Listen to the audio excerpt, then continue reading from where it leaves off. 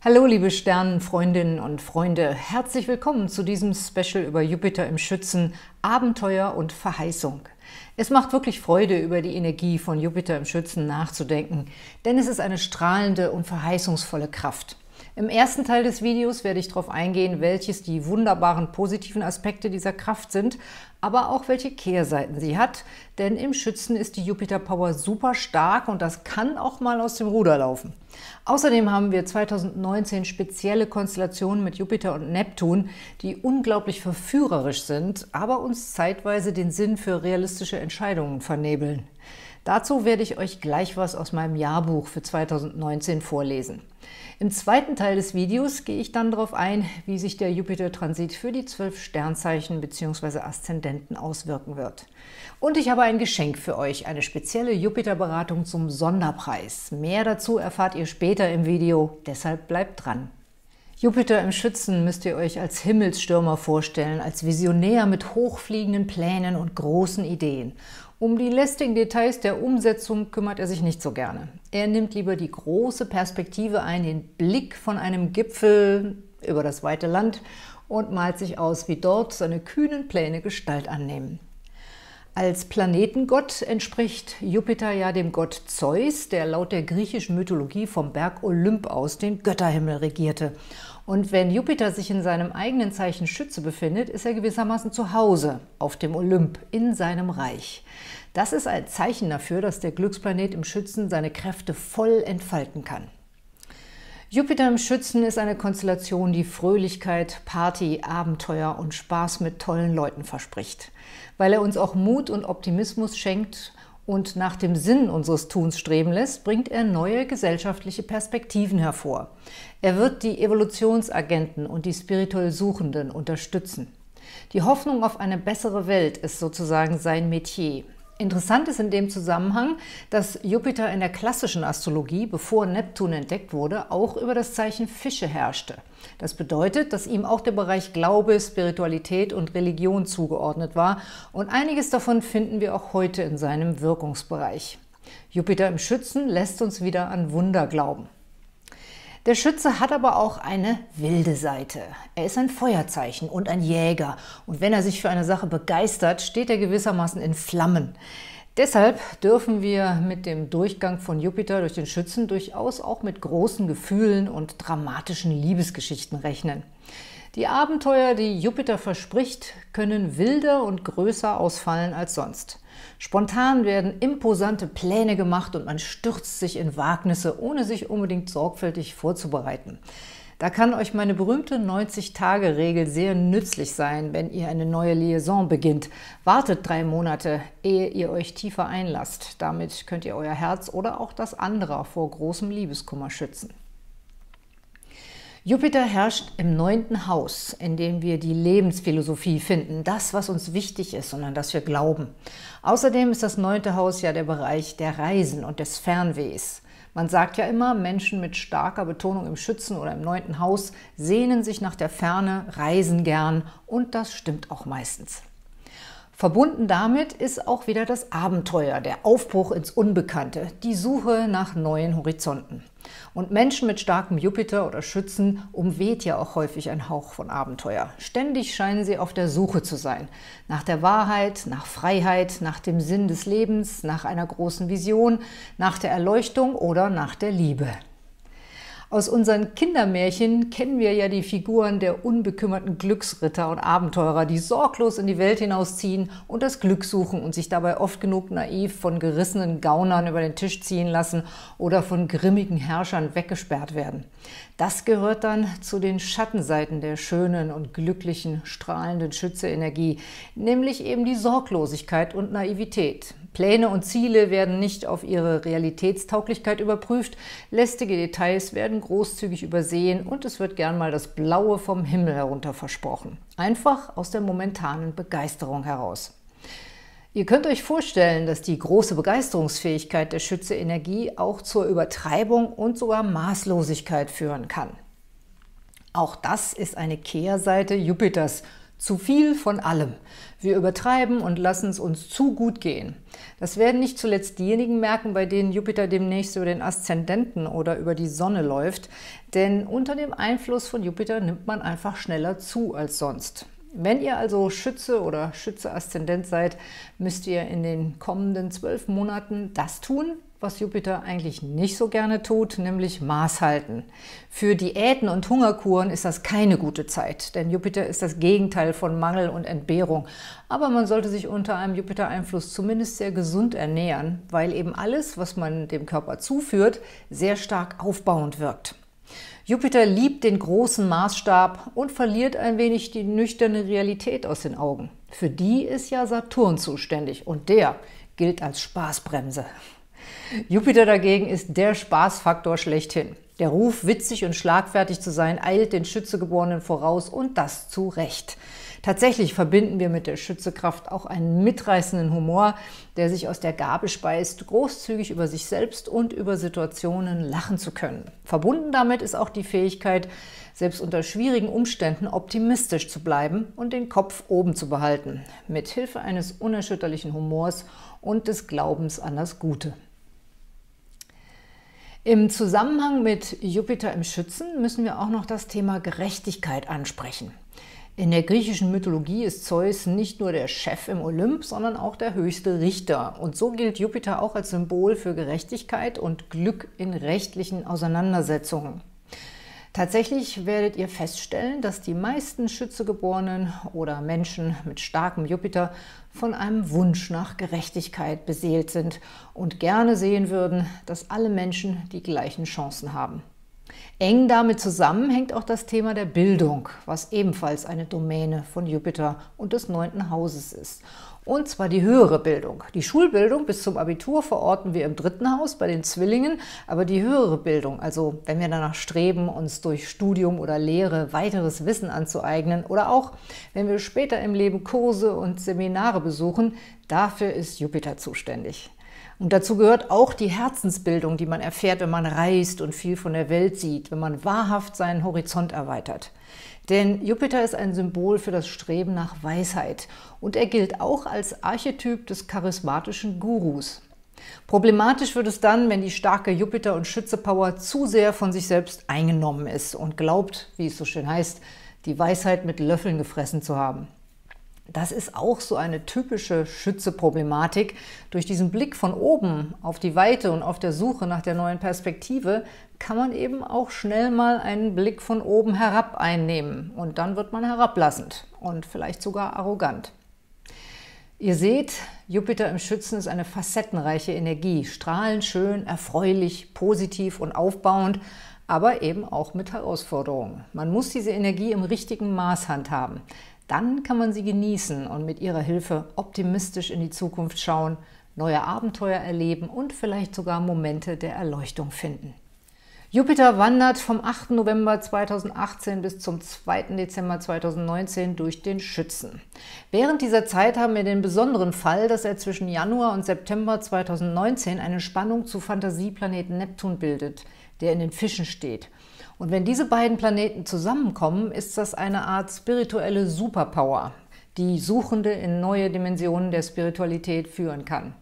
Aber es treffen eben auch die Prinzipien der Übertreibung und Verführung aufeinander. Ich möchte euch jetzt aus meinem Jahrbuch für 2019 zitieren, was ich über diese Konstellation geschrieben habe. Jupiter im Schützen ist ein Wegweiser, der uns optimistisch in die Zukunft blicken lässt. Und Neptun in den Fischen führt uns zu spiritueller Einsicht und lässt uns die Verbindung zu allem, was ist, erkennen. Gemeinsam mit Chiron, der ab Februar durch den Widder läuft und dabei sozusagen die Fahne hochhält und sagt, hier geht's lang, zeigen diese kosmischen Kräfte, dass alle Evolutionsagenten unter uns stark gefordert sind, die neuen Entwicklungen zu begleiten und zu unterstützen. Je bewusster wir mit der kosmischen Weisheit umgehen, desto reicher und spirituell bedeutsamer werden wir das Jahr 2019 erleben. Die Verbindung von Jupiter und Neptun ist nichts weniger als das Potenzial zur Erleuchtung und auch das Potenzial, die große Liebe zu finden. Doch damit wir die Bodenhaftung nicht verlieren, müssen wir uns damit konfrontieren, dass diese wundersame Konstellation auch ihre Tücken hat. Denn Jupiter und Neptun formen zwischen Januar und September 2019 einen Spannungsaspekt und der kann auch die negativen bzw. unwägbaren Seiten dieser Konstellation hervorbringen. Sie kann uns dazu verführen, uns treiben zu lassen und darauf zu vertrauen, dass der Kosmos schon alles richten wird, ohne dass wir planvoll vorgehen und uns dafür anstrengen müssen. Sie kann auch dazu führen, dass wir uns dem rauschhaften Vergnügen hingeben, denn sie bietet große künstlerische, musische und erotische Verlockungen, ist verschwenderisch und enthält einiges Suchtpotenzial. Ähnlich einer großen Liebe, der man sich hingeben möchte, ohne sich um die Verpflichtungen des Alltags zu kümmern. Es kann uns passieren, dass wir schlechte Entscheidungen treffen, den falschen Leuten vertrauen oder unsere Zeit mit scheinbar vielversprechenden Projekten verschwenden, die sich nachher als Luftschlösser erweisen. Außerdem laufen wir Gefahr, über unsere Verhältnisse zu leben und uns zu verschulden, weil wir mehr Geld für Vergnügen und schöne Dinge ausgeben, als wir besitzen. Deshalb ist es sehr wichtig, dass wir bodenständig und geerdet bleiben. Vielleicht kennt ihr das Gleichnis von dem Erleuchteten, der stets einen schweren Sack über der Schulter trug. Er wurde von einem seiner Schüler gefragt, was denn die Erleuchtung sei, woraufhin er lächelnd den Sack von der Schulter nahm und sich des Gewichtes entledigte. Der Schüler glaubte verstanden zu haben, aller irdischen Bürden entledigt zu sein, das sei die Erleuchtung. Dann fragt er den Meister, und was kommt nach der Erleuchtung, wie geht es dann weiter? Darauf lächelte der Meister erneut und lud den schweren Sack wieder auf seine Schultern. Tja, so ist das mit der Erleuchtung. Wir können sie nicht festhalten und auf ihren Schwingungen davonschweben, sondern sie nur in uns tragen und trotzdem unser Tagewerk erledigen und unsere Verantwortung schultern. Für diese Erkenntnis sind Saturn und Pluto im Steinbock zuständig. Glücklicherweise wird sich Saturn über weite Strecken, nämlich zwischen Januar und November, positiv mit Neptun verbinden und uns dabei helfen, die Kräfte der Erleuchtung und Inspiration ins tägliche Leben zu integrieren. Soweit der Auszug aus meinem Jahrbuch 2019, das dieser Tage erscheinen wird. In dem Jahrbuch beschreibe ich ausführlich die Auswirkungen der Spannung von Neptun und Jupiter für diejenigen Sternzeichen, die davon besonders betroffen sind, nämlich die Zwillinge, Jungfrauen, Schützen und Fische. Außerdem findet ihr darin alle Geburtstagskinder, die wichtige Einflüsse empfangen. Die Infos, wie ihr das Buch bestellen könnt, packe ich euch mal unten in die Videobeschreibung rein. Gleich wollen wir uns anschauen, wie sich der Jupiter-Transit für die zwölf Sternzeichen bzw. Aszendenten auswirkt. Natürlich kann es sinnvoll sein, euch in einer persönlichen Beratung über die Wirkung des Jupiter-Transits zu informieren und vielleicht auch, ob die Spannung zwischen Jupiter und Neptun für euch persönlich problematisch wird oder ob ihr einen speziellen Superglücksaspekt habt, nämlich wenn der laufende Jupiter jetzt im Schützen ein sogenanntes Trigon zu eurem Geburtsjupiter bildet. Dafür müsste ich Einblick in euer individuelles Geburtshoroskop haben, um das zu beurteilen. Dafür ist mein besonderes Geschenk da, die spezielle Jupiter-Beratung. Da erfahrt ihr alles über die segensreiche Wirkung von Jupiter in eurem Horoskop. Eine halbe Stunde Gespräch mit mir inklusive Mitschnitt als MP3 zum Sonderpreis von 80 statt 115 Euro. Unten in der Videobeschreibung findet ihr einen speziellen Link, der euch zu diesem Angebot führt. Es ist nur für eine begrenzte Zeit gültig, deshalb entscheidet euch schnell. Bevor wir zur Deutung für die Sternzeichen kommen, gebe ich euch hier noch die Daten, wann Jupiter durch welche Dekade laufen wird. Vom 8. November bis 23. Dezember 2018 durch die erste Dekade, dann vom 23. Dezember bis 15. Februar 2019 durch die zweite Dekade, dann vom 15. Februar bis 15. Juni 2019 durch die dritte Dekade und dann wird er rückläufig und läuft vom 5. Juni bis 12. Oktober nochmal durch die zweite Dekade und dann schließlich vom 12. Oktober bis 2. Dezember 2019 durch die dritte Dekade des Schützen. Am längsten hält sich Jupiter in der zweiten und dritten Dekade auf, wo er auch zwischen Januar und September 2019 in dieser Spannung mit Neptun steht. Und jetzt schauen wir uns Jupiters Reise durch die zwölf Häuser an und welche Aspekte er zu eurem Sternzeichen bilden wird. Und wir beginnen mit den Widdergeborenen und Widderaszendenten. Glücksplanet Jupiter wird aus dem Schützen heraus einen sehr vorteilhaften Aspekt zur Widdersonne bilden und durch euer neuntes Haus der Reisen und der Abenteuer wandern. Ihr erfreut euch großer Beliebtheit und bekommt bestimmt viele Einladungen, vor allem von den Freunden und Bekannten, die weiter weg wohnen oder vielleicht sogar ins Ausland gezogen sind. Nutzt dieses Jahr auch, um selbst Freunde und Bekannte zu besuchen, die weiter entfernt leben. Ihr werdet euren Spaß dran haben und die Verbindung vertiefen und festigen. Für die Singles unter euch steckt hier auch viel romantisches Potenzial. Neue Flirts ergeben sich und gedeihen besonders gut, wenn ihr euch in die Ferne begebt und Neues dazulernt. Der Jupiter-Transit zeigt auch neue berufliche Chancen an und ist finanziell günstig, zum Beispiel durch die Auszahlung von Boni oder sonstigen Extras, sei es, weil eure Firma insgesamt erfolgreich ist oder, falls ihr selbstständig seid, eure Umsätze und Verkäufe steigen. Und weiter geht es mit den Stiergeborenen und Stieraszendenten. Für euch wandert Jupiter aus dem direkten Aspekt in eurem Partnerhaus heraus und geht ins achte Sonnenhaus. Das kann sich finanziell vorteilhaft für euch auswirken und ist auch günstig für eure festen und verbindlichen Beziehungen und Werte, die ihr mit anderen teilt. Wahrscheinlich wird euer Einkommen insgesamt steigen. Ihr könnt auch gute neue Geschäftspartner finden oder Allianzen bilden, die sich auszahlen. Möglich auch, dass ihr dieses Jahr etwas erbt oder dass ihr eine Auszahlung bekommt, zum Beispiel durch eine Versicherung oder eine Steuerrückzahlung. Wenn ihr fest liiert seid, wird eure Beziehung von diesem Einfluss profitieren und kann sich auch in erotischer Hinsicht weiterentwickeln, vertiefen und festigen. Für Stiergeborene, die sich für Magie, Okkultes und Geheimnisse interessieren, ist der Jupiter-Transit wunderbar geeignet, um in diesem Bereich zu forschen und neue Erkenntnisse zu bekommen. Jetzt schauen wir bei den Zwillingen und Zwillinge-Aszendenten. Für euch wandert der Glücksplanet durch euer siebtes Sonnenhaus der Partnerschaft.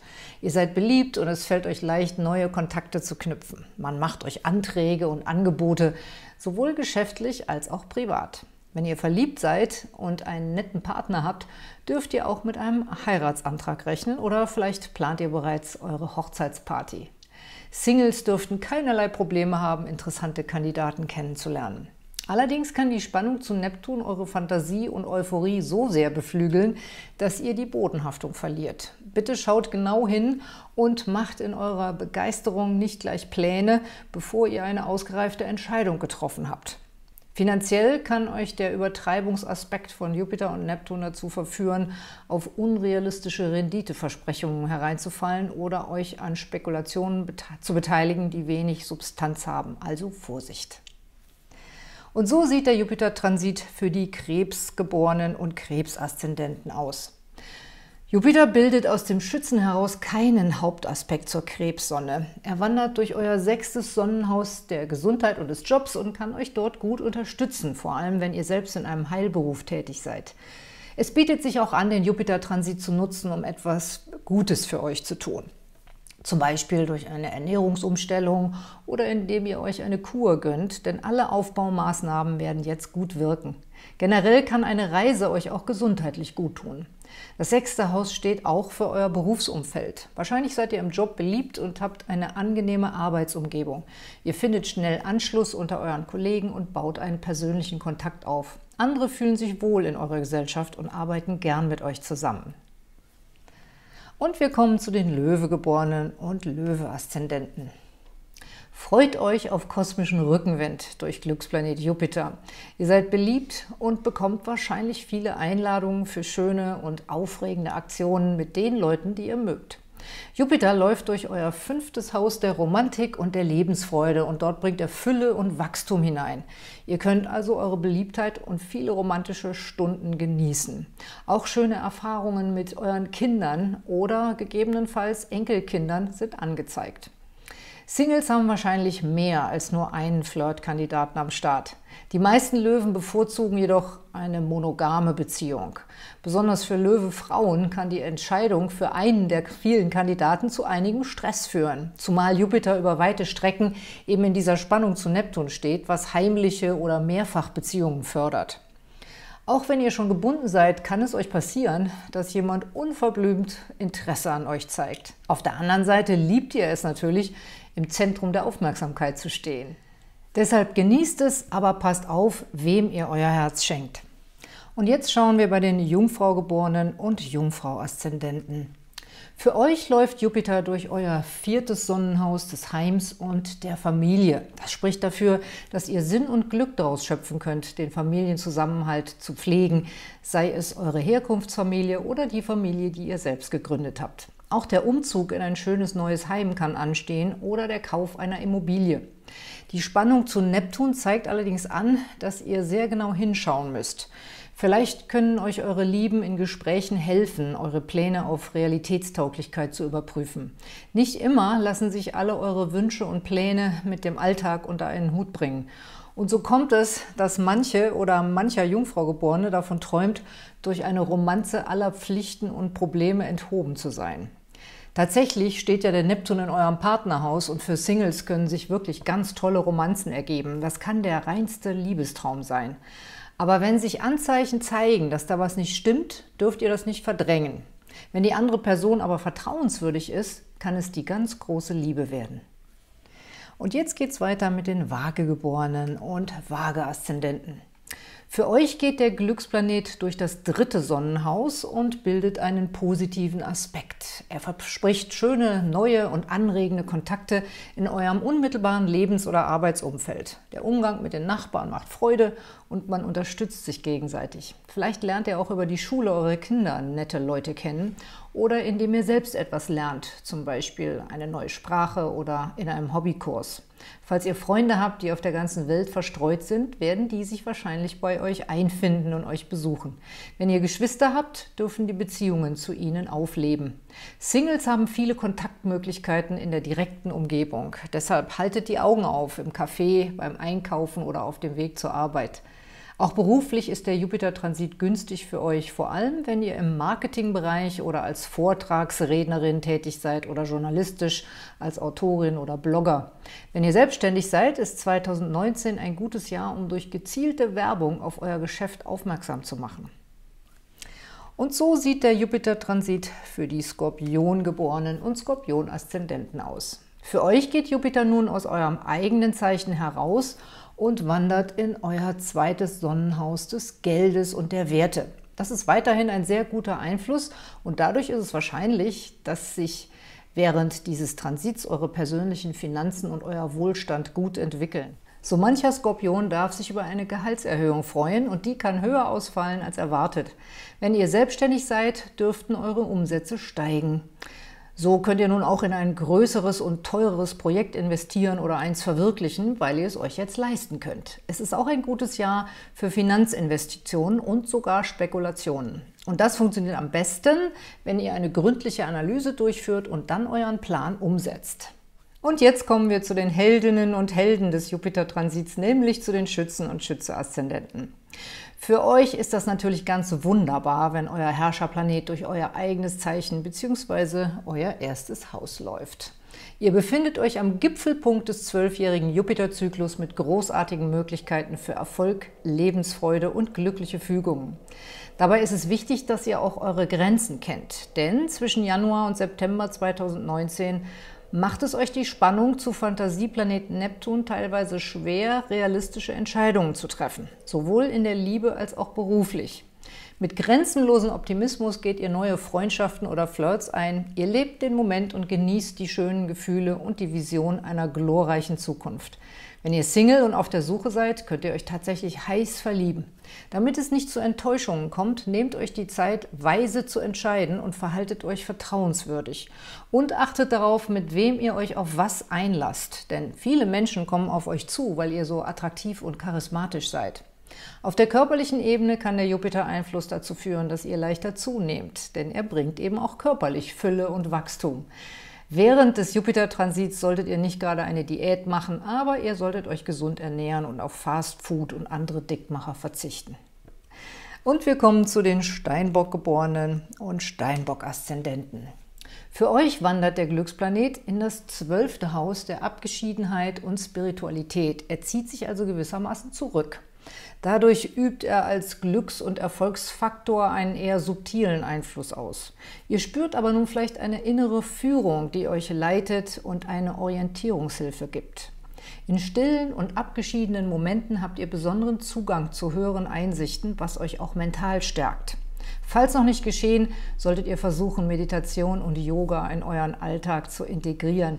Das tut euch auch deshalb gut, weil ja Saturn durch euer eigenes Zeichen läuft und das kann zur Versteifung und Verhärtung führen. Yoga und Meditation können euch zu mehr Durchlässigkeit und Gelassenheit verhelfen und Jupiter kann euch dazu motivieren, in dieser Hinsicht was für euch zu tun. Insofern könnt ihr die Meditation sogar als Gesundheitsvorsorge betrachten. Auch das Führen eines Tagebuchs und die Beschäftigung mit guten spirituellen Büchern oder Filmen wird euch auf jeden Fall gut tun und euch inspirieren. Und jetzt schauen wir für die Wassermann-Geborenen und Wassermann-Aszendenten. Für euch bildet Jupiter einen positiven Aspekt und er wandert durch euer elftes Haus der Freundschaften. Ihr seid beliebt und könnt euren Freundeskreis erweitern. Die Menschen sind einfach gern in eurer Nähe, weil sie eure freundliche und witzige Art mögen. Reisen, ob in die Ferne oder Kurztrips, stehen unter guten Sternen. Nehmt euch vor, Freunde und Familienmitglieder zu besuchen, die weiter weg wohnen. Wenn ihr Single und auf der Suche seid, ist es ein wunderbares Jahr mit Jupiter, um neue Freunde zu finden. Und aus Freundschaft kann Liebe werden. Auch wenn ihr euch sozial engagiert, zum Beispiel in der Politik oder in einer Interessengruppe, ist das eine Quelle interessanter Begegnungen. Und auch beim Internet-Dating könnt ihr erfolgreich sein. Wenn ihr fest liiert seid, werdet ihr das Jahr genießen, indem ihr mit eurem Schatz den gemeinsamen Freundeskreis pflegt und gemeinsam neue Freunde kennenlernt. Es wird bestimmt mehrere große Feste geben, bei denen ihr eingeladen seid und alle wieder treffen könnt. Und jetzt schauen wir noch für die Fischegeborenen und die Fische-Aszendenten, wie der Jupiter-Transit wirkt. Für euch aktiviert der Glücksplanet das zehnte Sonnenhaus der Karriere. Deshalb ist das Potenzial für Erfolge groß, wenn ihr genug Disziplin aufbringt. Denn zwischen Januar und September erlebt ihr ja die Spannung zu Neptun und der steht bei euch im Zeichen. Deswegen kann es Zeiten geben, in denen ihr euch treiben lasst und nur noch im Genuss schwelgen wollt und die Vorsicht und die Realität außer Acht lasst. Beruflich müsst ihr auf die Details achten und Verträge und Vereinbarungen gegebenenfalls mit professioneller Hilfe überprüfen. Und macht bei Verhandlungen nicht zu viele Zugeständnisse. Eure Arbeit und Kreativität sind mehr wert, als ihr vielleicht denkt. In der Liebe blüht eure romantische Ader. Wenn ihr fest liiert seid, könnt ihr das zum Beispiel bei einer gemeinsamen Reise genießen. Am besten in einer exotischen Umgebung am Meer oder an einem See. Wenn ihr Single seid, könnt ihr euch unsterblich verlieben. Damit es nicht zu Enttäuschungen kommt, seid wählerisch und lasst euch Zeit. Euer Herzensmensch sollte nicht nur romantisch sein, sondern auch vertrauenswürdig. Das waren meine Gedanken über den Jupiter-Transit durch das Zeichen Schütze und seine Begegnung mit Neptun in den Fischen. Es lohnt sich auch nochmal in eurem individuellen Horoskop zu schauen, wo sich der Jupiter jetzt befindet und ob ihr die problematischen Aspekte von Neptun und Jupiter empfangt oder besondere Glücksaspekte. Und das kann man nur in einer persönlichen Beratung klären. Dafür ist ja mein Beratungsgeschenk da. Die Infos und den Link findet ihr unten in der Videobeschreibung. Und mich erreicht ihr wie immer auf meinem Kundentelefon oder über meine Homepage. Und alle Infos verlinke ich hier auf der Infokarte und auch nochmal unten in der Videobeschreibung. Wenn ihr meinen Kanal abonniert, werdet ihr automatisch benachrichtigt, wenn ich die nächsten Videos hochlade. Dazu bitte einfach hier klicken. Auf jeden Fall möchte ich euch mein Special über den Mondknoten im Krebs ans Herz legen und weiterhin aktuell und wichtig sind auch die Videos über Saturn im Steinbock und über den inneren Heiler Chiron. Ich wünsche euch alles Gute mit den Sternen.